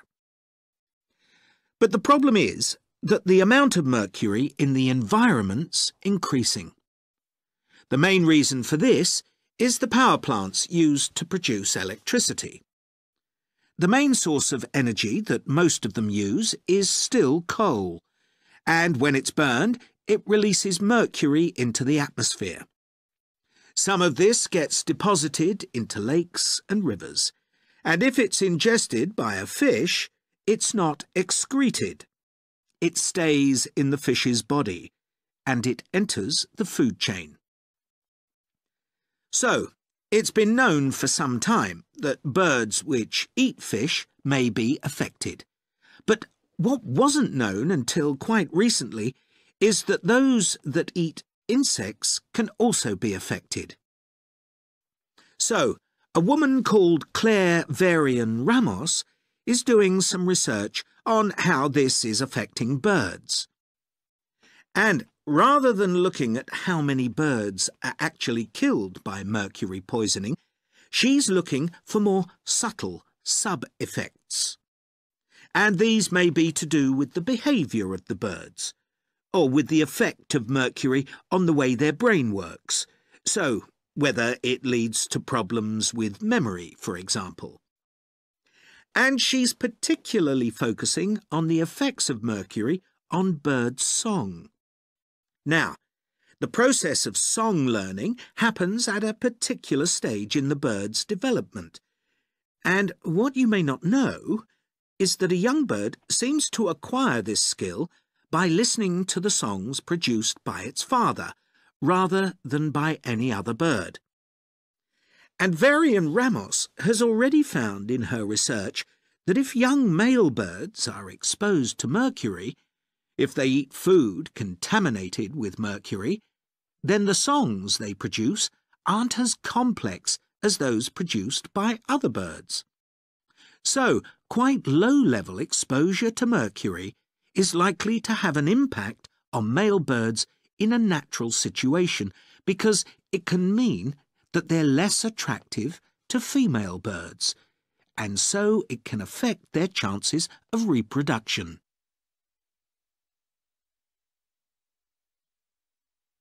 Now, the way she's carrying out this research is worth thinking about. She's using a mixture of studies, using birds kept in laboratories and studies carried out outdoors in the wild. The lab-based studies have the advantage that you don't get all the variables you would in a natural setting.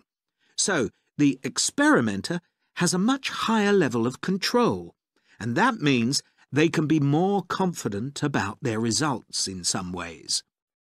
And of course, they don't have to worry about going out and finding the birds in order to observe them. So, what are the implications here for humans? Well, because many birds are migratory, they may be transporting mercury far from contaminated sites.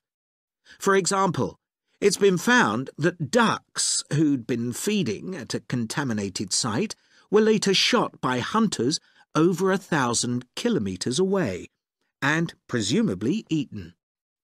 But these birds likely had mercury levels high enough to warrant concern for human consumption. In addition, going back to song learning by birds, we saw that this may be affected by mercury contamination. Well, we also know that in humans, mercury causes developmental delays in the acquisition of language. And in fact, this process is very similar in the brain regions it involves, and even the genes that are involved. But mercury contamination has other important implications for humans as well.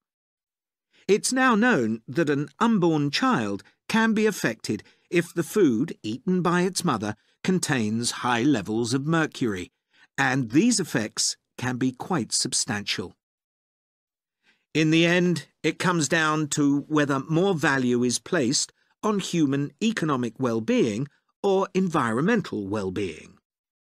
It's true there are new regulations for mercury emissions from power plants, but these will need billions of dollars to implement, and increase costs for everyone. Some argue that's too much to pay to protect wildlife. But as we've seen, the issues go beyond that, and I think it's an issue we need to consider very carefully. That is the end of section four. You now have half a minute to check your answers.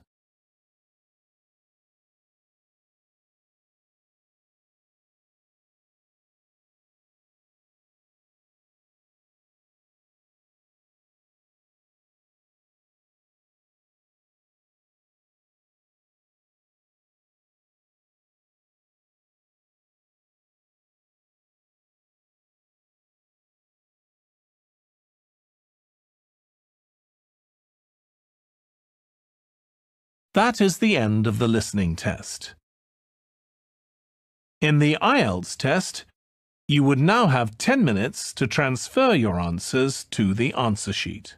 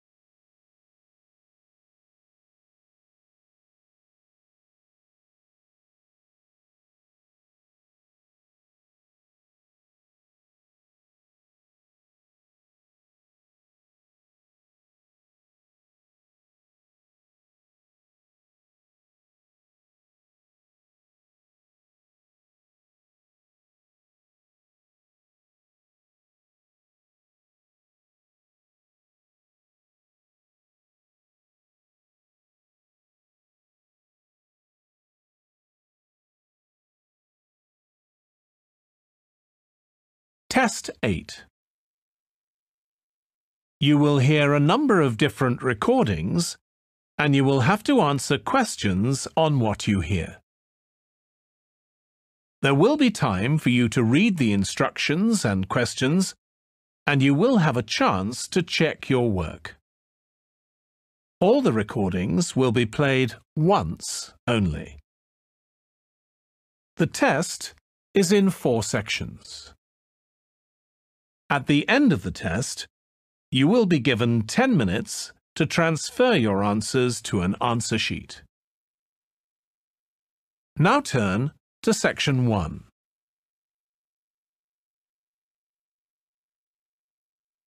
Section 1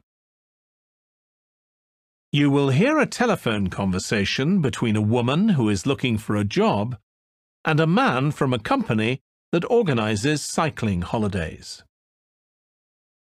First, you have some time to look at questions 1 to 6.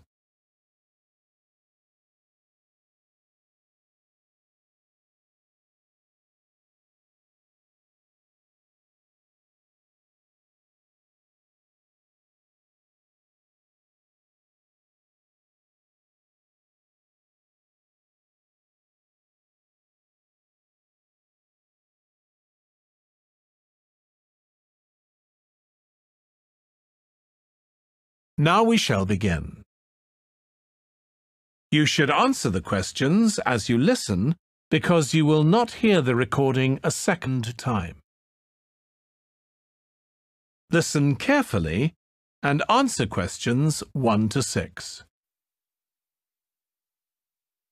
Hello, Pembroke Cycling Holidays. Bob speaking. Oh, hello.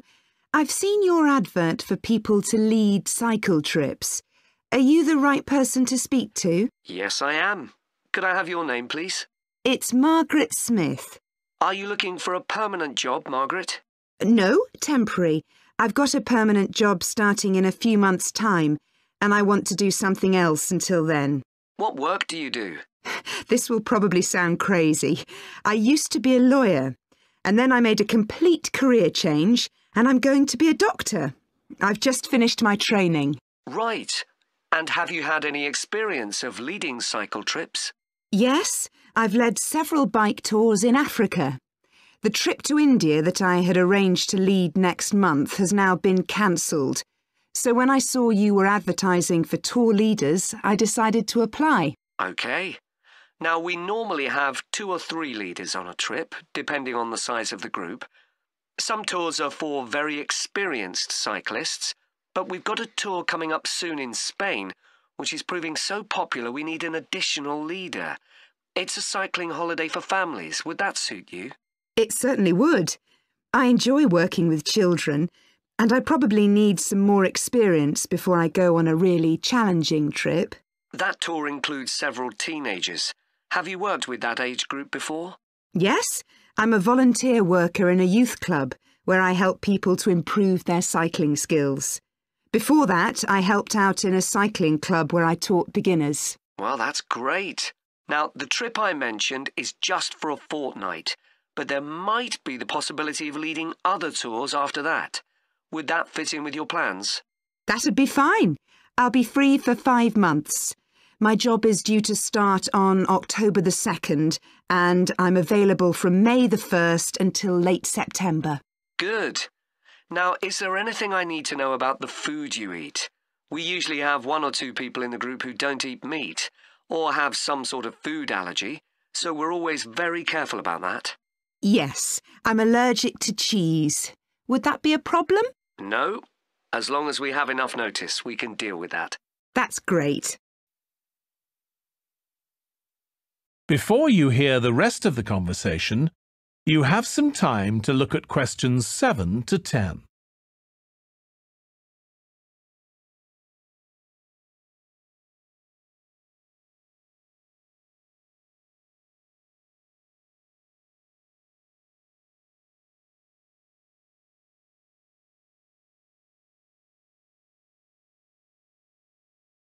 Now listen and answer questions 7 to 10. It sounds really interesting. Would you like me to fill in an application form? Yes, please. Where should I post it to? Could you send it to 27 Arbuthnot Place, A R B U T H N O T Place, Dumfries. And what's the postcode, please? DG7 4PH. Was that P Papa or B Bravo? P Papa. Got that. If you could return the application form by Friday this week, we can interview you on Tuesday next week. Say half past two? Would that be possible for you? Yes, it's fine. You're quite a long way from where I live, so I'll drive over on Monday. Should I bring anything to the interview? We'll have your application form, of course, but we'll need to see any certificates you've got that are relevant in cycling, first aid, or whatever. OK. And at the interview, we'd like to find out about your experience of being a tour guide. So, could you prepare a 10 minute talk about that, please? You don't need slides or any complicated equipment, just some notes. Right. I'll start thinking about that straight away. Good. Well, we'll look forward to receiving your application form and we'll contact you to confirm the interview. Thanks very much. Thank you, Margaret. Goodbye. Bye. That is the end of section 1. You now have half a minute to check your answers.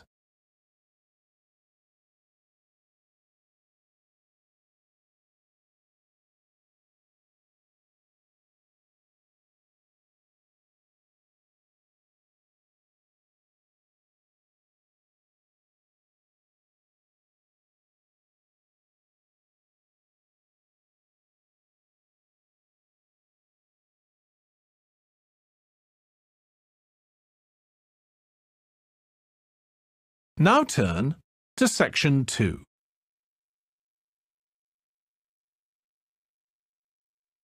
Section 2. You will hear a podcast about an area called the sheep market in a New Zealand city.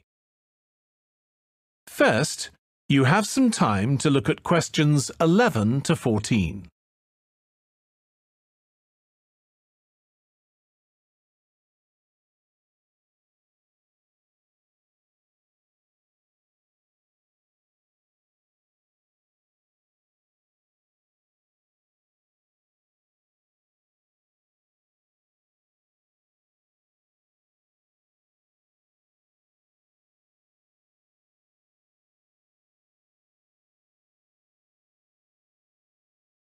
Now listen carefully and answer questions 11 to 14.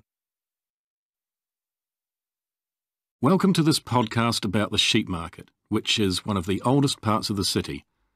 As its name suggests, there was originally a market here where farmers brought their sheep, but now it's been redeveloped into a buzzing, vibrant area of the city, which is also home to one of the city's fastest growing communities. The nearby university has always meant the area's popular with students who come in to enjoy the lively nightlife, but now graduates embarking on careers in the worlds of fashion and design are buying up the new apartments recently built here to replace the small houses where the market workers used to live. The narrow old side streets are great places for finding original pictures, jewellery and ceramics which won't break the bank, as well as local produce like fruit and vegetables. There's also lots of pavement cafes where you can have a coffee and watch tourists from all over the world go by. The oldest buildings in the area are on the main streets, including the city's first department store built in the 1880s, which is still open today. The sheep market is a centre for fashion, and there's a policy of encouraging new young designers. The Young Fashion Competition is open to local young people who are passionate about fashion. This year, they've been asked to design an outfit based on ideas from the music and technology that's part of their everyday life, using both natural and man-made fibres. The garments will be judged by a panel of experts and fashion designers and the winning entries will be modelled at a special gala evening. Parking at the sheep market is easy. There are plenty of pay and display car parking spaces on the roadsides, which are fine if you just want to stay for an hour or two. But if you want to spend the day there, it's better to park in one of the four underground car parks. It's not expensive, and if you can present a receipt from one of the local stores, you'll not be charged at all. After 6pm, many of the car parks have a flat rate which varies, but it is usually very reasonable. Before you hear the rest of the podcast, you have some time to look at questions 15 to 20.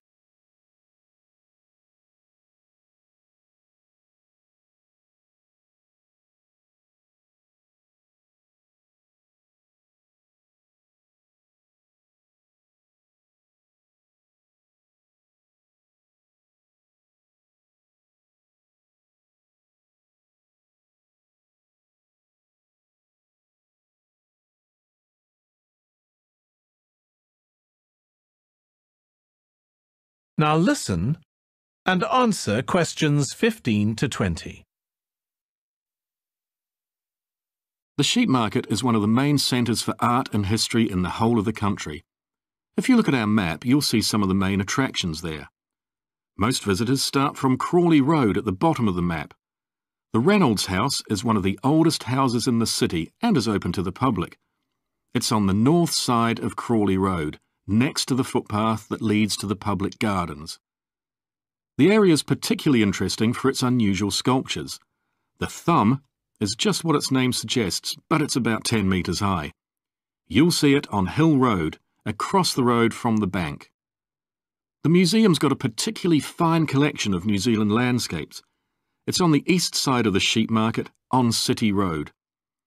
It's on the other side of the road from the public gardens immediately facing the junction with Hill Road.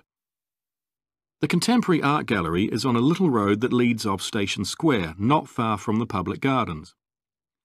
The road ends at the gallery. It doesn't go anywhere else. That's open every day except Mondays. The Warner Gallery specialises in 19th century art. It's on City Road, near the junction with Crawley Road, on the same side of the road as the public gardens. It's open on weekdays from 9 to 5 and entry is free. Finally, if you're interested in purchasing high quality artwork, the place to go is Nucleus. You need to go from Crawley Road up through Station Square and east along Hill Road until you get to a small winding road turning off. Go up there and it's on your right. If you get to City Road, you've gone too far. That is the end of section 2. You now have half a minute to check your answers.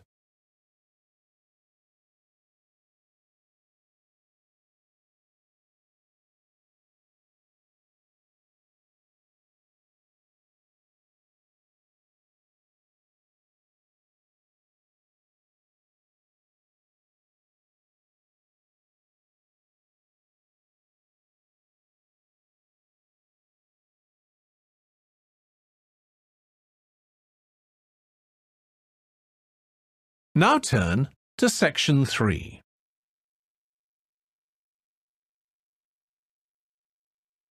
Section 3 You will hear two students, Katie and Joe, discussing a presentation in their Film Studies course.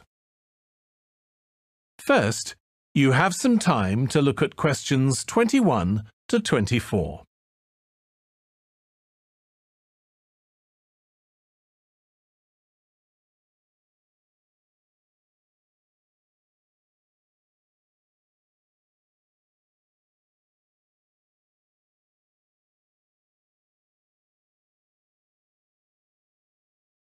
Now listen carefully and answer questions 21 to 24. Joe, you know I'm giving a presentation in our film studies class next week. Yes. Well, could we discuss it? I could do with getting someone else's opinion. Of course, Katie. What are you going to talk about? It's about film adaptations of Shakespeare's plays. I've got very interested in all the different approaches that film directors take. Uh-huh. So I thought I'd start with Giannetti, who's a professor of film and literature. And in one of his books, he came up with a straightforward classification of film adaptations based on how faithful they are to the original plays and novels. Right. I've already made some notes on that so I just need to sort those out before the presentation. I thought that next I'd ask the class to come up with the worst examples of Shakespeare adaptations that they've seen and to say why. That should be more fun than having their favourite versions. Yes, I can certainly think of a couple. right. Next, I want to talk about Rachel Malchow. I came across something on the internet about her work on film adaptations, and I was thinking of showing some film clips to illustrate her ideas. Will you have enough time, though, both to prepare and during the presentation? After all, I doubt if you'll be able to find all the clips you want. Hmm, perhaps you're right. OK, well, I'd better do some slides instead saying how various films relate to what she says. That should encourage discussion. Mm. Next, I want to say something about how plays may be chosen for adaptation because they're concerned with issues of the time when the film is made. You mean things like patriotism or the role of government? Exactly. It's quite tricky but I've got a few ideas I'd like to discuss. Before you hear the rest of the discussion, you have some time to look at questions 25 to 30.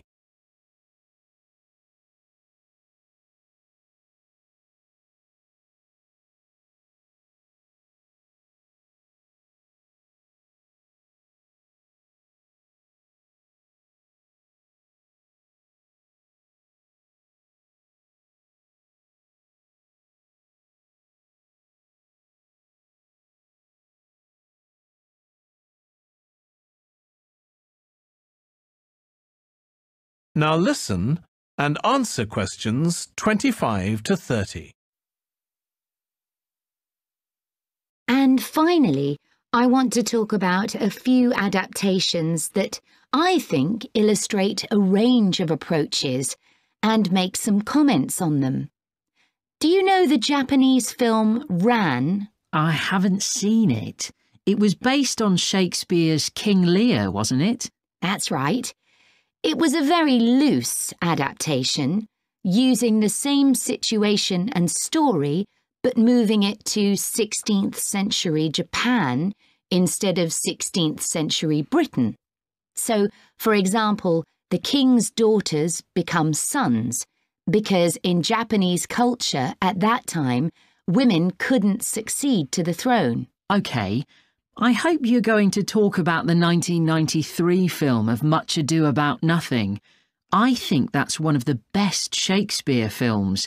It really brings the play to life, doesn't it? Yes, I agree. And I think filming it in Italy, where the play is set, makes you see what life was like at the time of the play. Absolutely. Right, what's next? Uh, next, I thought Romeo and Juliet, the 1996 film, which moves the action into the present day. Yes, it worked really well, I thought, changing the two feuding families in the original to two competing business empires, even though they're speaking in the English of the original play. You'd expect it would sound really bizarre, but I found I soon got used to it. Me too. Then I thought I'd include a real Hollywood film, one that's intended to appeal to a mass commercial audience. There must be quite a number of those. Yes, but I've picked the 1996 film of Hamlet. It included every line of the text, but it's more like a typical action hero movie. There are loads of special effects, but no unifying interpretation of the play. All show and no substance. Exactly. Then there's Prospero's books, based on The Tempest. That was really innovative from a stylistic point of view. Didn't it include dance and singing and animation as well as live actors? Yes, it did. I also want to mention Looking for Richard, did you ever see it? No, but I've read about it. It was a blend of a documentary with a few scenes from Richard III, wasn't it? That's right. It's more a way of looking into how people nowadays connect with the playwright. The play is really just the starting point. And that'll be where I finish. Well, it sounds as though it'll be very interesting. That is the end of section 3. You now have half a minute to check your answers.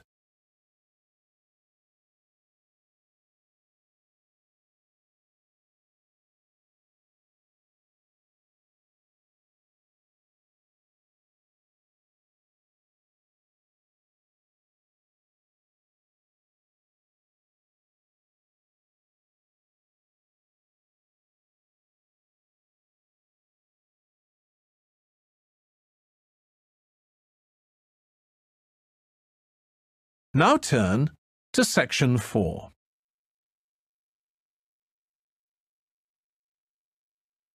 Section 4. You will hear part of a lecture about noise in cities. First, you have some time to look at questions 31 to 40.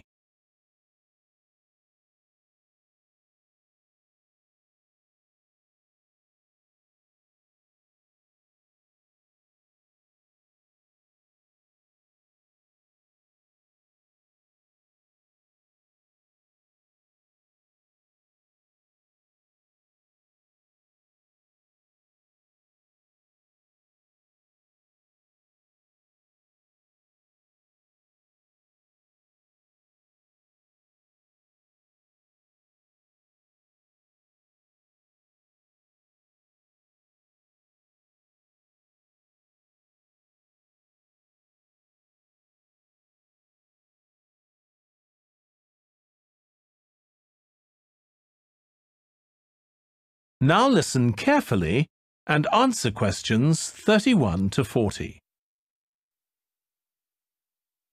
This lecture will be about the science of acoustics, the study of sound, in relation to urban environments such as cities.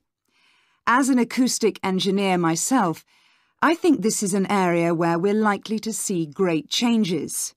In the past, researching urban soundscapes was simple. We measured levels of sound in decibels, so I used to take my sound meter and I measured the noise somewhere. And then I might ask a sample of people to say at what level the sound became annoying. With data like this, acoustic engineers have been able to build up what we call noise maps, maps of the sound environment. But actually, these aren't a lot of use. What they do show is that the highest noise levels are generally on roads. Well, that's not really very surprising. But there's quite a lot going on that these maps don't show, because they can't capture the complex way that sound varies over time. So they ignore important issues such as the noise someone might hear from the open windows or gardens of their neighbours. And this sort of noise can be quite significant in summer. We don't have any databases on this sort of information.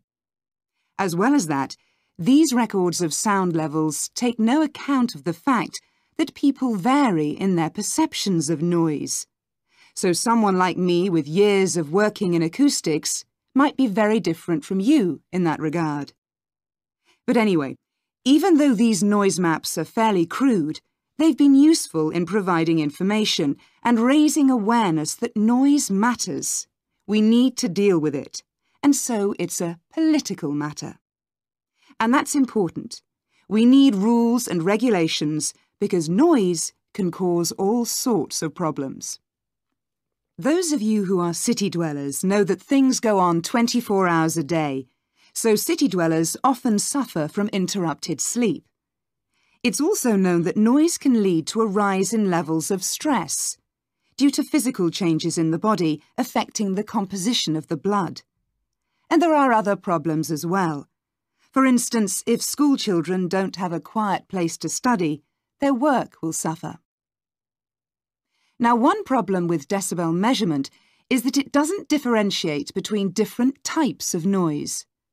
Some types of sounds that most people would probably think of as nice and relaxing might well score quite highly in decibel levels.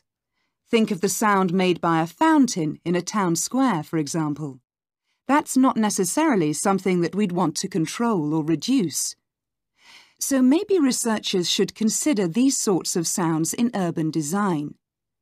This is going to be tricky, because just measuring decibel levels isn't going to help us here. Instead, many researchers are using social science techniques, studying people's emotional response to sound by using questionnaires and so on.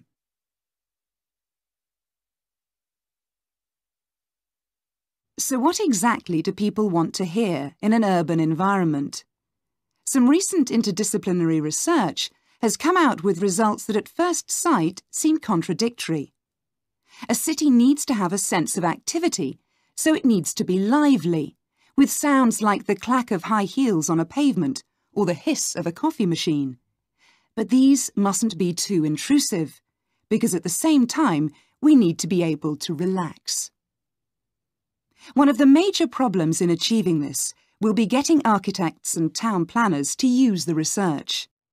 Apart from studying the basics of acoustics, these people receive very little training in this area.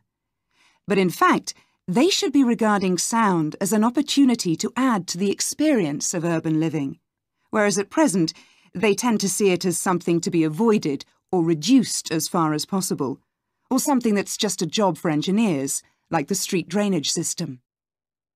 What's needed is for noise in cities to be regarded as an aesthetic quality, as something that has the qualities of an art form. If we acknowledge this, then we urgently need to know what governs it and how designers can work with it. We need to develop a complex understanding of many factors. What is the relationship between sound and culture? What can we learn from disciplines such as psychology about the way that sound interacts with human development and social relationships, and the way that sound affects our thoughts and feelings? Can we learn anything from physics about the nature of sound itself? Today's powerful technologies can also help us. To show us their ideas and help us to imagine the effect their buildings will have, Architects and town planners already use virtual reality, but these programs are silent.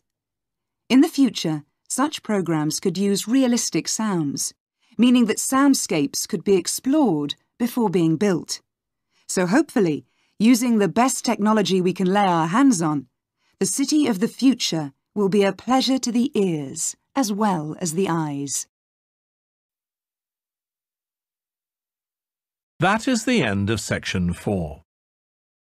You now have half a minute to check your answers.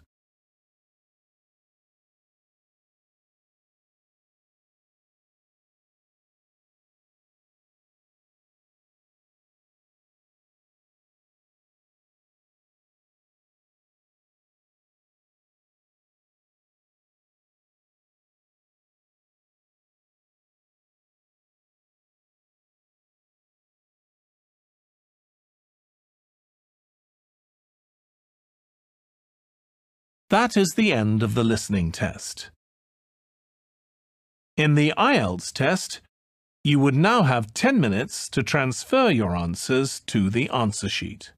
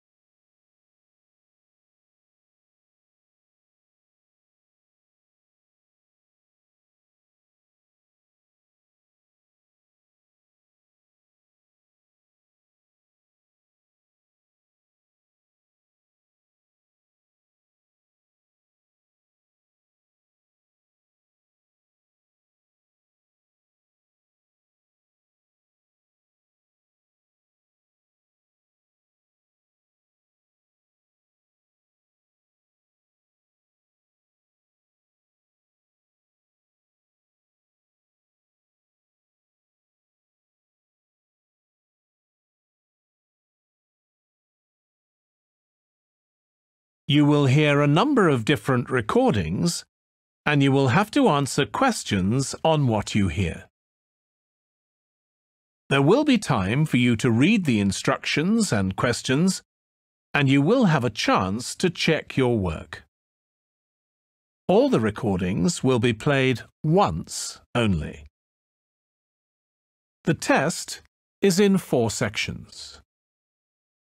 At the end of the test, you will be given 10 minutes to transfer your answers to an answer sheet. Now turn to section 1.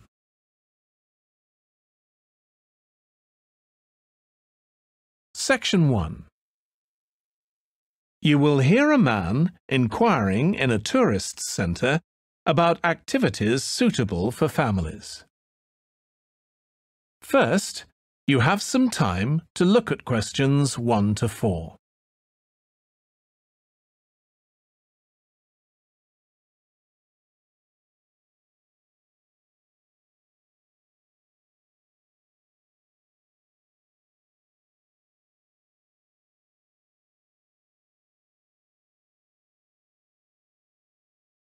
Now we shall begin. You should answer the questions as you listen because you will not hear the recording a second time. Listen carefully and answer questions 1 to 4. Hi, can I help you? I'd like to find out if you have any excursions suitable for families. Sure. How about taking your family for a cruise? We have a steamship that takes passengers out several times a day. It's over a hundred years old. That sounds interesting. How long is the trip? About an hour and a half. And don't forget to take pictures of the mountains. They're all around you when you're on the boat and they look fantastic. Okay. And I assume there's a cafe or something on board? Sure. How old are your children? Uh, my daughter's 15 and my son's 7. Right. Well, there are various things you can do once you've crossed the lake to make a day of it. One thing that's very popular is a visit to the country farm. You're met off the boat by the farmer and he'll take you to the holding pens where the sheep are kept. Children love feeding them. My son would love that. He really likes animals. Well, there's also a 40-minute trek round the farm on a horse if he wants. Do you think he'd manage it? He hasn't done that before. Sure. It's suitable for complete beginners. Ah, good.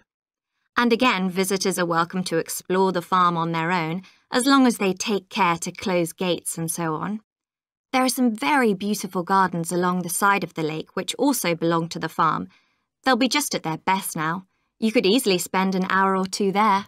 Okay, well, that all sounds good. And can we get lunch there? You can, and it's very good, though it's not included in the basic cost. You pay when you get there. Right. Before you hear the rest of the conversation, you have some time to look at questions 5 to 10.